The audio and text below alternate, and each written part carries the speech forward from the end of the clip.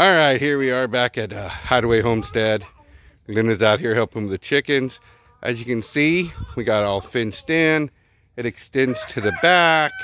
We still got a little bit of work to do. Uh, that's probably Cluck Norris over there clucking.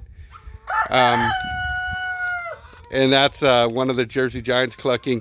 Um, we're collecting a ton of eggs. This whole tin, this whole tub is full of eggs because uh, I haven't collected them in like two or three days. They are laying that much. I got to clean up their their nesting box because, hold on, baby. Uh, is she spending time with you? Very good. Change up their water this morning. They got plenty of feed. I got to clean up their their box. Since I've just took their eggs out, they have now laid like several more. They're really loving out here. They got tons of bugs, tons of everything. And, uh, you know, we still got some cleanup to do and some fixing to do. But it's coming along, you know. Rome wasn't built in a day. But I'm very proud.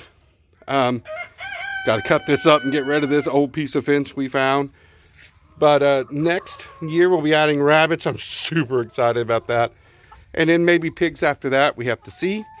But super happy with our chickens. And, you know, me and my son have made a team effort. And my wife helped. And little Luna, she's she's talking to Beth over there. Are you talking to Beth, baby?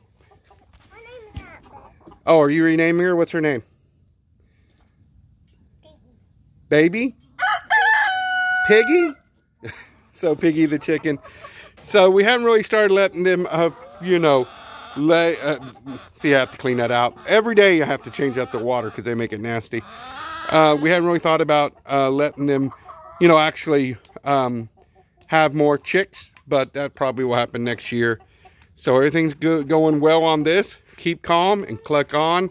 And remember, happiness shared is happiness doubled.